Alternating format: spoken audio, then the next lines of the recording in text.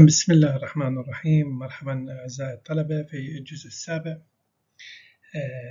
من محاضراتنا اللي متعلق بناخذ الأسس والمبادئ الأساسية للحركة بال uninterrupted facilities. بالحقيقة إذا تذكرون من المحاضرات السابقة قسمنا ال traffic facility إلى نوعين نوع interrupted ونوع وال uninterrupted قلنا إذا تذكرون هو الطرق المفتوحة بشكل دائم بدون ماكو شيء يعيق الحركة بها وهذه ال facilities حقيقة على عدة أنواع موجودة على عدة أنواع. النوع الأول بشكل واضح هو ال freeway الطرق السريعة. دائما تقاطعات إذا تذكرون قلنا ماكو أي interruption تقاطعاتها دائما تكون interchange فبالتالي هي مفتوحة للحركة بشكل مستمر طول الوقت وماكو أي اعاقه عليها. بالحقيقة أكو نوعين آخرين على الرغم إنه وجود تقاطعات at grade يعني بمستوى واحد لكن ممكن تصنيفها هي كأن uninterrupted flow. الأولى هي ال multilane highway وشريطة شنو الشرط إنه بعد بين هذا اللي يسوي لنا interruption ال facility اللي يصير عليها تقاطع أو أي interruption آخر يكون البعد بيناتهم أكثر من 2 مايل. فبالتالي ال multilane highway اللي هي طرق الذهاب وإياب بها كل كل اتجاه بها أكثر من lane ين أو ثلاثة. وبالتالي المجموع الكلي يكون من أربعة إلى ستة بالعادة. ويكون البعد بين interruption و interruption أكثر من 2 مايل من يكون ال multilane highway بهذه المواصفات ممكن نسميه uninterrupted flow نوصف الحركة المرورية به إنه نكون غير معاقه كذلك ال rural two lane highway نتذكر ال two lane two way highway اللي هو lane للذهاب و lane للإياب. أيضا هذا من يكون البعد بين الفيكس أوبريشن أو هذا اللي يسبب لنا شيء الأشياء اللي تسبب لنا interruption كان تكون تقاطعات check point any اي اي أي شيء من هذه القبيل. إذا كان البعد بيناتها أكثر من 2 مايل الحركة ضمن هذا المقطع ممكن تكون uninterrupted اذا ال freeway وال multilane highway وال rural two lane two way highway كلهن ممكن تكون بهن الحركة غير معاقه بالحقيقة حتى نبلش بعملية التحليل ونختار عدد ال lane ات أو مستوى الخدمة. أكو عدة approach ات لكن أكو approach لل highway capacity manual فد manual يصدر عن ال National Academy of Engineering عندها فد قسم Transportation Research Board يصدروا لنا فد كتيب أو فد manual اسمه ال highway capacity manual حقيقة يصدر من سنة الخمسين لحد الآن خمس إصدارات به. آخر إصدار كان 2010 اللي هو الجزء الخامس اللي يدعى هاي كاباسيتي مانوال 2010 يوضح لنا كل المبادئ كل الأسس طرق القياس هذه المعايير اللي نتعلمها واحدة بعد آخر. خلينا نبدأ بشكل أولي بشكل سريع. أول خلينا نعرف الكباسيتي لأن هو حقيقة أكو عدة مبادئ عدة كونسبت لازم نفتهمها حتى بالتالي من ننطلق عملية التصميم والتحليل نكون فاهمية وفق هذه المبادئ. أول مبدأ concept مالت ال capacity. إذا نتذكر أو يعني إحنا ماخذين تعريف سابقا وال highway capacity manual يعرف لنا أنه ال capacity لأي واسطة نقل هي عبارة عن ال maximum hourly rate أكبر حجوم مرورية معدل حجوم مرورية اللي تمر هي عبارة عن شنو هذا الحجوم أما أشخاص وأما مركبات. اللي بشكل معقول تقدر تعبر لنا من نقطة معينة أو مقطع منتظم لل lane معين أو لطريق معين خلال فترة معينة تحت ظروف سائدة وهذه الظروف السائدة تكون يعني prevailing roadway و traffic و control condition راح نبدي هذا التعريف ناخذه جزء جزء حتى نستوعب الأفكار مالته. رقم واحد أشار للتعريف إنه ال ال ال ال اكو significant ال concept مالته يحكي لنا على ال capacity على maximum hourly rate وإحنا نتذكر إذا تذكرون إحنا قلنا الحجوم المروريه على الرغم من يجي عندنا خلال السنة حجوم تتغير خلال السنة خلال الشهر تتغير خلال الأسبوع تتغير خلال اليوم الواحد تتغير لأن بها أوقات ذروة وأوقات خلال اليوم الواحد وأوقات لا تكون خارج أوقات الذروة. من ثم أكو بساعة يعني ال peak hour من ساعات الذروة أكو ساعة هي ال peak hour آه هذه ال peak hour خلالها هماتين لازم نقسمها لأن خلال الساعة الواحدة هم ما نقدر ناخذ الحجم كله. يمكن وضحناها بمحاضرة سابقة. فناخذ كل rate of flow لكل 15 ومن عندنا نطلع ال maximum rate of flow اللي يمر خلال هذه ساعه الذروه هذا اللي نعتمد عليه بعملية التصميم والتحليل حتى نضمن كفاءة عالية لل facility مالتنا. أيضا التعريف هو فد اشاره إنه person and vehicle. الظاهر بالفترات الأخيرة اتضح لنا أنه صحيح المركبات مهمة وهي اللي تحدد لنا جودة الخدمة اللي نقدمها لكن في بعض الأحيان ال pedestrian أو السابلة أو المستخدمين الأشخاص يكونون هم المعيار الأساسي وبالتالي بعض ال facilities facilities تحددها بشكل رئيسي تحدد سعتها الأشخاص وممكن المركبات أيضا. أيضا تطرق التعريف ما يعرف بال prevailing condition وال prevailing condition قسمها ثلاثة. قال لي prevailing traffic condition prevailing roadway condition وال prevailing control condition. مثل إيش نضرب؟ أمثلة على ال traffic condition دا أريد نشوف طبعا مثلا الحالة السائدة نريد نوصفها هو شنو ال traffic composition بالحالة السائدة مو بالصدفة مرت عندي عدد كبير من الشاحنات. لا أنا أمشي على الحالة السائدة هي بالوضع الطبيعي المتكرر بشكل عالي إيش قد نسبة ال truck؟ إيش قد نسبة الباصات؟ إيش قد نسبة ال recreation vehicle إيش قد نسبة ال passenger car unit فال traffic composition بالحالة السائدة إلى إيش قد؟ هذه وصف لل prevailing condition أيضا roadway condition نقصد بها تقريبا ال geometric characteristics إيش قد عرض ال lane إيش قد عدد ال lane ات؟ إيش قد ال shoulder ات موجودة أو غير موجودة؟ دعنا نحكي على أرصفة موجودة أو ما موجودة. إيش قد قيمة ال free flow speed؟ إن شاء الله ناخذها بتفصيل أكثر. وهكذا هذني نسميها ال geometric condition الأشياء العينية الفيزيائية اللي موجودة تحدد لنا شكل الطريق والتصميم الهندسي. كذلك ال control condition نوصف بها بعض ال traffic control device مثلا traffic light لأن هذا ضمن وقت معين هو يحدد لي الحركة. وهكذا شنو عندي إشارات شنو عندي صفات تعمل على السيطرة على الحركة المرورية. المهم من هذه يعني النقطة إنه ال concept هذا يحدد لي إذا تغير أي شيء من هذا ال condition إذا انتقلنا إلى سعة أخرى فبالتالي لازم نتخذ إجراء آخر راح نشوفه. شنو الإجراء الآخر مثلا؟ على سبيل المثال أنا راح أضرب مثال هنا.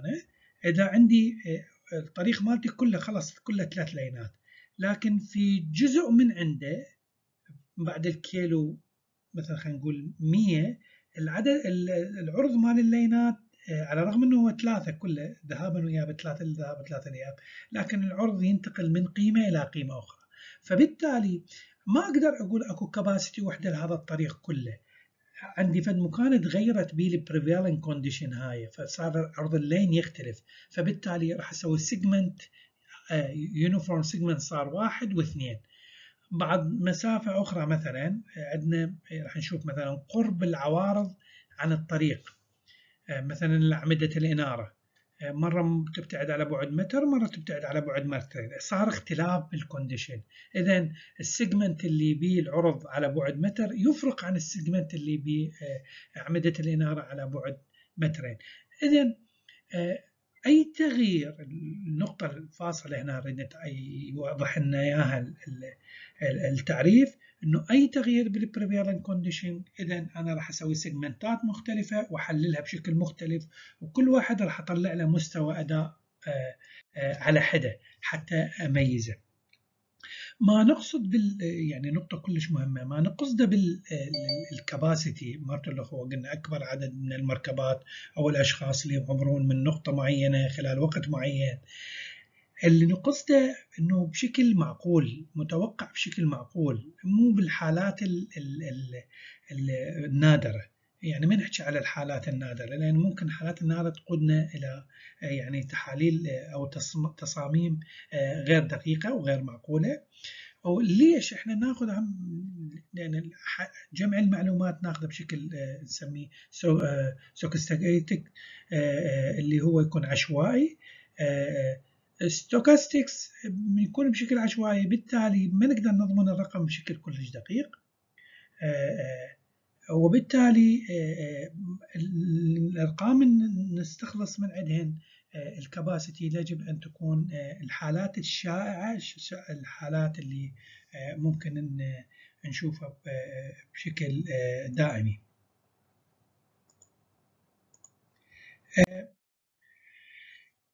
أيضا من المهم إنه من نحسب ال capacity ما نحكي على فد نقطة معينة ونروح ناخذ هاي ال single يعني هذه النقطة وناخذ أعلى قيمة موجودة تمر. لازم يعني بشكل منتظم نقدر نلاحظ هذه النقطة.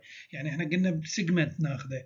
مو أروح على فد مكان اللي هو أعلى سعة يطلع لي اياها أو أروح على مكان اللي يطلع لي أقل سعة الحالتين خطأ. آخذ على شيء مكان بحيث يكون الرصد بشكل regularly observed. بشكل منتظم نقدر نرصد هذا العدد. ناخذ الحالة مرت الأخوة تعريف للحالة السائدة. طبعا من نجيب الكباسيتي؟ عندنا طرق مشروحة بالهاي كاباسيتي مانوال على سبيل المثال. لكن بشكل أولي يعطيني فد مؤشرات عامة.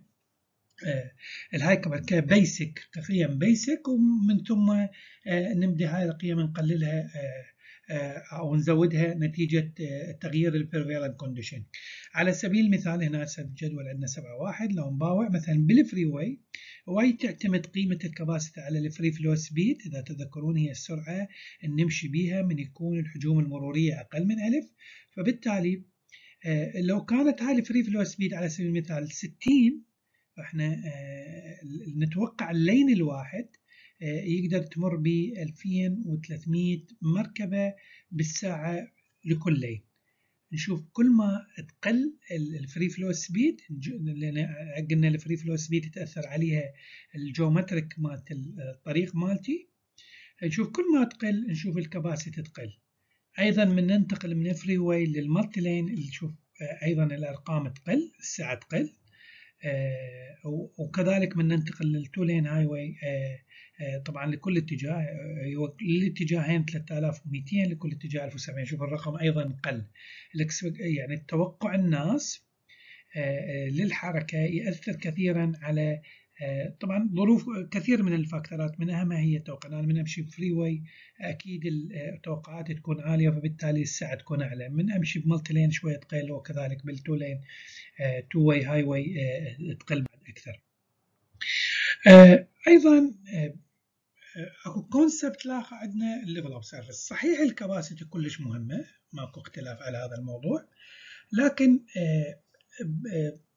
لو ردنا نصمم على على ال capacity وال capacity نتذكر هي يعني الحافة اللي بعدها أي interruption بسيط أو أي مماحكة بسيطة عفوا تسبب لنا ننتقل من ال stable flow لل unstable ال capacity كأنه دا نمشي بدون أكو يعني أكو virtual يعني اللي نسميها no virtual usable gap كأنه السيارات دا تمشي مسافات كلش محددة.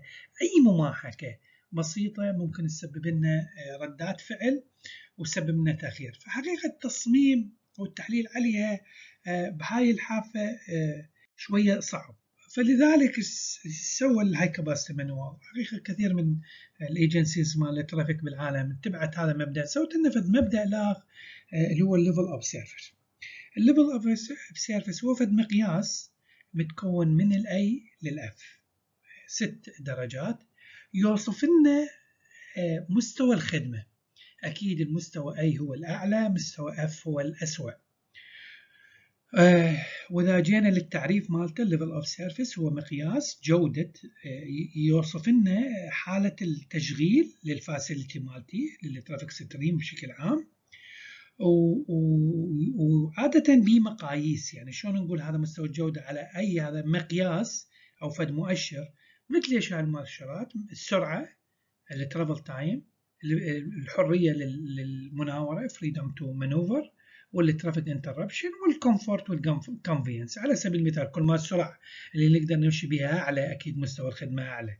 كل ما travel time أعلى معناته مستوى الخدمة أقل لأن الصرف وقت أكثر وهكذا. اذا هي مؤشرات راح أخليها تعبر لي على أو توصف لي مستوى الأداء لهذا ال facility.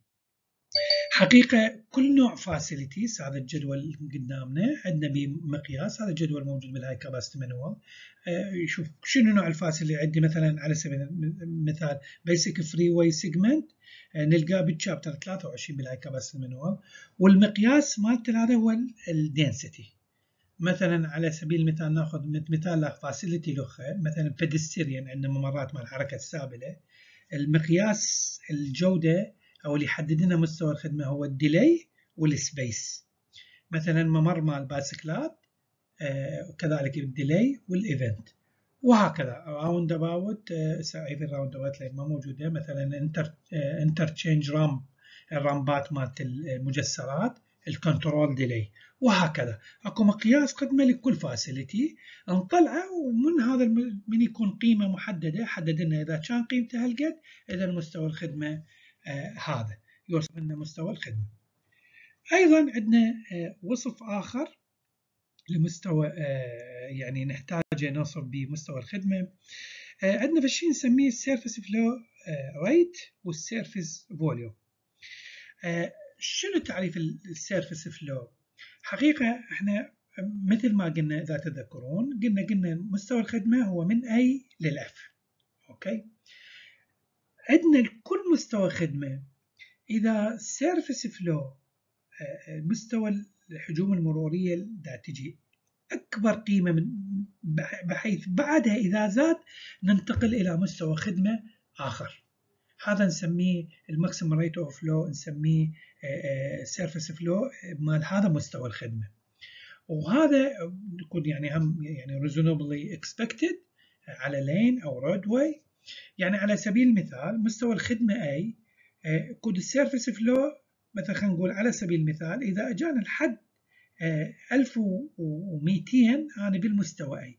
بس يزود يصير 1201 انتقلت من مستوى الخدمة A إلى مستوى الخدمة B وهكذا من 1200 انزل مثلا خلينا نقول للألف أنا بعدني بمستوى الخدمة B متى ما انتقلت من الألف لل 999 انتقلت أنا للمستوى الخدمة C فنشوف على رأس كل يعني بداية المستوى الخدمة. أكو service flow هو يعني الحجوم المرورية للخدمة هذه ونعرف بها. وبالحقيقة عندنا خمسة مو ستة service flow ليش؟ لأن ال service flow F يمثل لنا مستوى خدمة.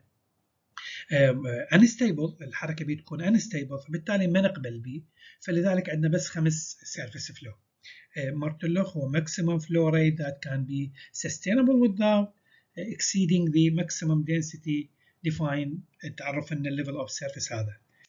مثل ما عندنا service flow يعني من نجي عندنا service volume هو الحجوم المرورية اللي تجينا بهذا الخدمة. شلون نعرفها لأن هنا rate وهنا volume شلون كنا نعرف عدد ساعات؟ نفس المبدأ القديم. بال volume يجيني خلال ساعة. ال service flow آخذ أعلى وحدة من الربع ساعات الأربعة إذا ما اخذ أنا ربع ربع ساعة. ممكن طبعا هذا المبدأ يسموه إلا ربع ساعة. أنا قلنا ممكن 10 دقائق 10 دقائق خمس دقائق ولكن هذا المبدأ يعتمد عليه بشكل عام. الناس بال highway agencies تأخذ ربع ساعة ربع ساعة إلى حد كبير.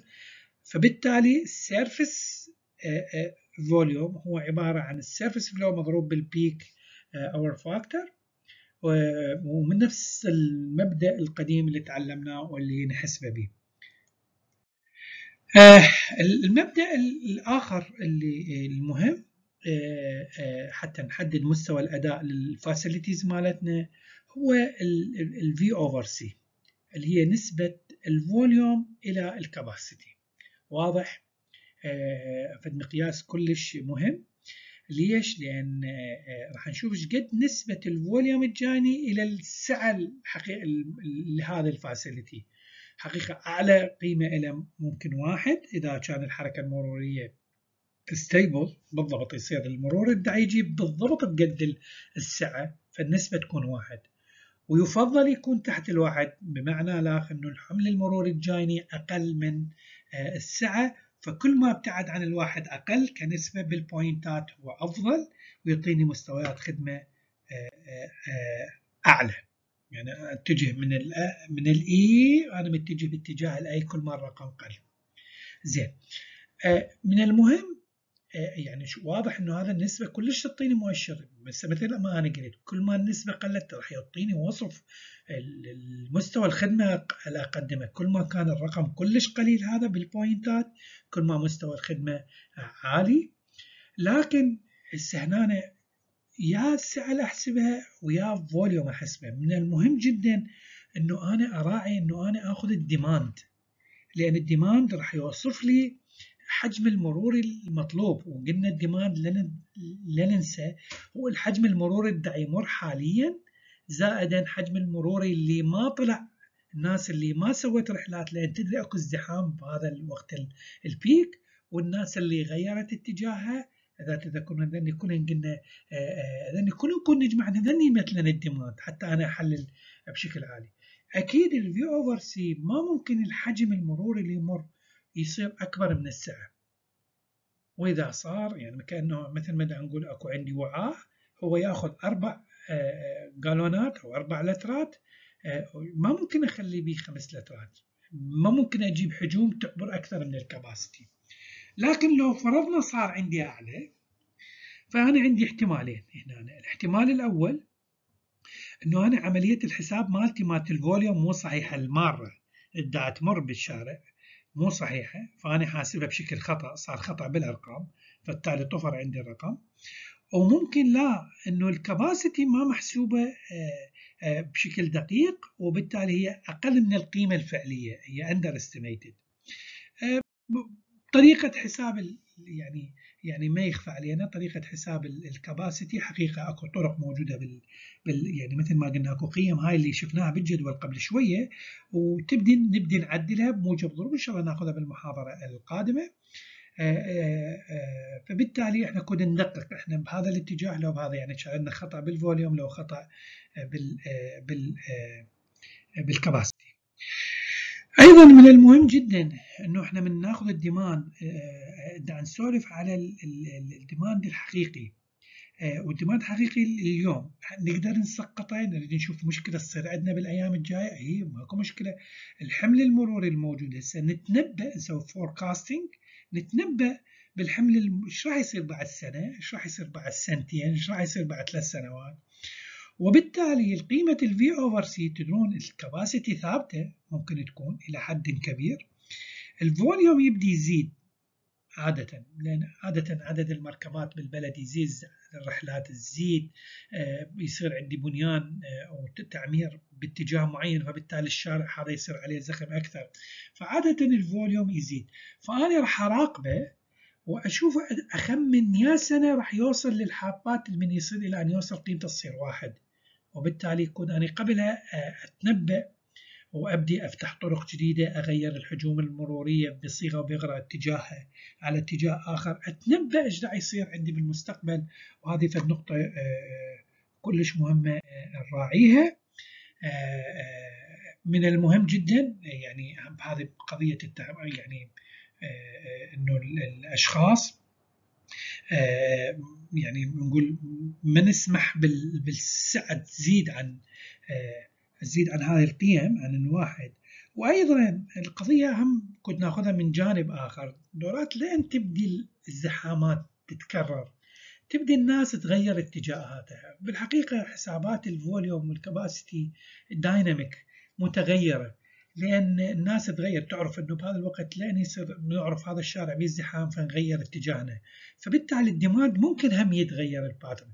فالحل الأمثل هو المراقبة الدائمة. صحيح أنا أخمن وأتنبأ إيش راح يصير لكن المراقبة الدائمة هم ضرورية حتى لا أسوي بعض الإجراءات وتكون إجراءاتي مو فعالة وهذه ديدن يعني هذا ديدن المؤسسات اللي يعني حقيقة تحترم المهنة مالتها تراعي جمع الأرقام بشكل دوري وبالتالي راح تكون تخميناتها دقيقة وتقدر تقدم خدمات أكثر جودة. شكرا جزيلا ونلتقيكم في محاضرات قادمة.